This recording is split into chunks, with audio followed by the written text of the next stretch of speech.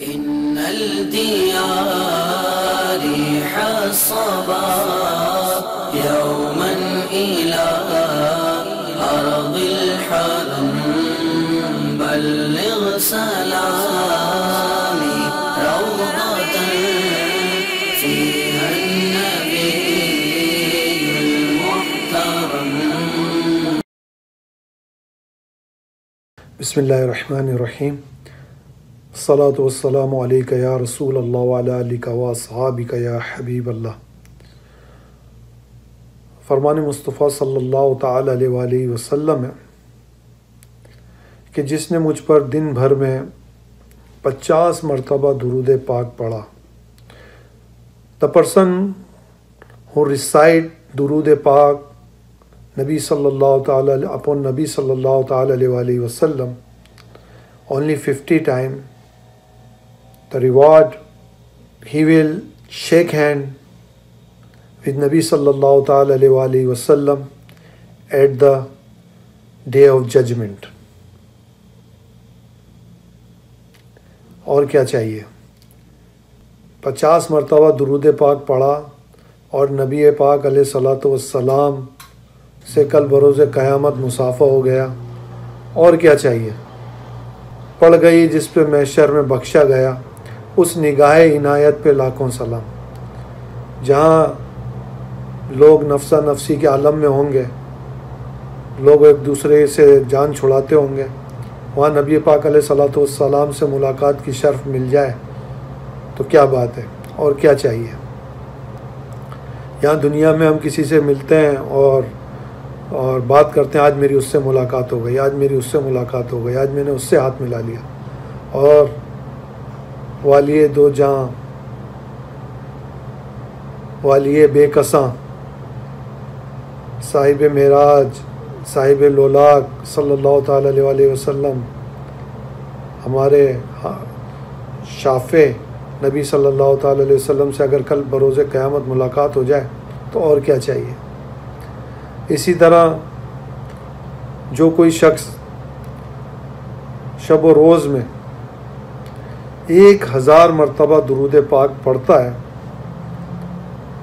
مرے گا نہیں جب تک کہ جنت میں اپنا مکان نہ دیکھ لے۔ اور کیا چاہیے؟ جنت میں مقام دیکھنے کو مل جائے گا، پتہ چل جائے گا کہ کہاں جنت میں مقام ہے۔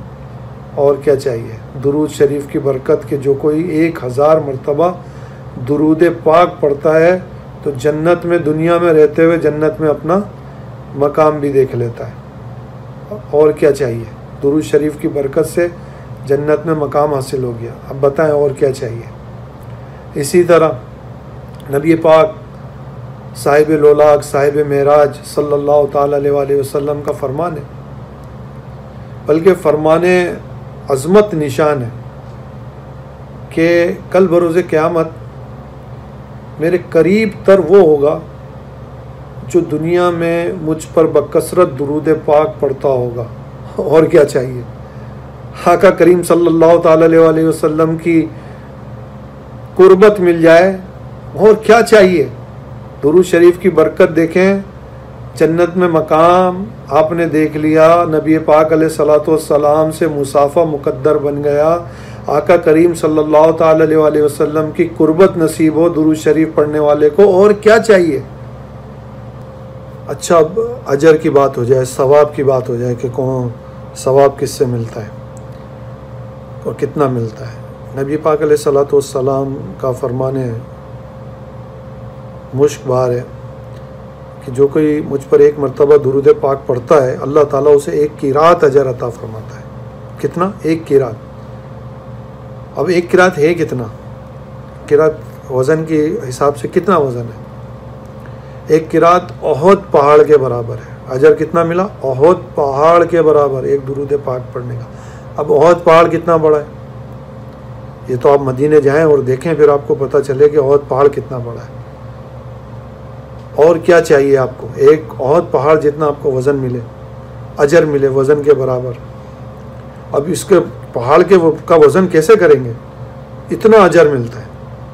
یہ تقریباً سات کلومیٹر اس کی لمبائی ہے اور تقریباً شاید پانچ چھ کلومیٹر اس کی چوڑائی ہے۔ پھر اسی حساب سے اس کی اونچائی بھی ہوگی اور وزن پہاڑ۔ اور کیا چاہیے؟ اتنا کثیر اجر درود پاک پڑھنے والے کو ملتا ہے۔ اور کیا چاہیے؟ سرکار مدینہ، راحت قلب و سینہ صاحب معطر و منبر پسینہ، باعث نزول سکینہ۔ فیض گنجینہ۔ صلی اللہ تعالی علیہ وآلہ وسلم کا فرمان مغفرت نشان ہے کہ جس نے میری میرے شوق اور میری محبت، میری الفت، میری چاہت کی وجہ سے صرف تین مرتبہ صبح تین مرتبہ شام درود پاک پڑھا۔ اللہ زوجل پر حق ہے کہ اس کے اس دن کے گناہ بخش دے۔ درود پاک گناہوں سے مغفرت کا سبب ہے۔ اور کیا چاہیے؟ گناہوں سے خلاصی چاہتے ہیں، درود پاک پڑھیں۔ اور کیا چاہیے؟ اسی طرح نبی پاک علیہ صلاۃ والسلام کا فرمانے خوشبودار ہے کہ کل بروز قیامت اللہ عزوجل کے عرش کے سائے کے سوا کوئی سایہ نہیں ہوگا۔ صرف اللہ عزوجل کے عرش کا سایہ ہوگا۔ اور اس میں جو خوش نصیب شامل ہوں گے، جو تین خوش نصیب شامل ہوں گے، اس میں ایک درود پاک جو کثرت سے درود پاک پڑھنے والا ہے، وہ بھی ہے۔ اور کیا چاہیے؟ کل بروز قیامت رب عز و جل کے عرش کا سایہ مل جائے اور کیا چاہیے؟ درود پاک کی برکت۔ کل بروز قیامت نور چاہیے کہ نبی پاک علیہ صلاۃ والسلام کا فرمان ہے نور ہے کہ تم اپنی مجلسوں کو، اپنی تقریبات کو، اپنی محفلوں کو مجھ پر درود پاک پڑھ کے آراستہ کرو۔ کیوں؟ کل بروز قیامت تمہارا یہ درود پاک پڑھنا تمہارے لیے نور ہوگا۔ اور کیا چاہیے؟ جنت بھی عطا ہوئی درود پاک کے وسیلے سے۔ نبی پاک علیہ صلاۃ والسلام پر درود پاک پڑھنے کے صدقے میں۔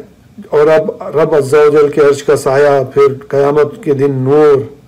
آئیے، ایک اور بڑی پیاری حدیث پاک سنتے ہیں کہ نبی پاک علیہ صلاۃ والسلام کا فرمان مغفرت نشان ہے۔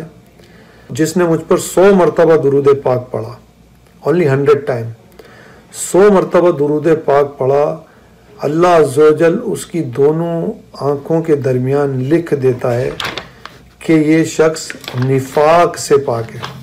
اور کل بروز قیامت اللہ تعالیٰ اسے شہدا کے ساتھ رکھے گا اور جہنم سے آزاد فرماتا ہے۔ اور کیا چاہیے؟ درود پاک کی برکت سے سب کچھ تو مل رہا ہے۔ اور کیا چاہیے؟ اب کوئی پریشانی ہے، کوئی حاجت ہے، آئیے اس کے بارے میں بھی سن لیتے ہیں۔ کہ نبی پاک علیہ صلاۃ والسلام نے فرمایا، جو کوئی شخص بروز جمعہ اور شب جمعہ سو مرتبہ درود پاک پڑھے گا،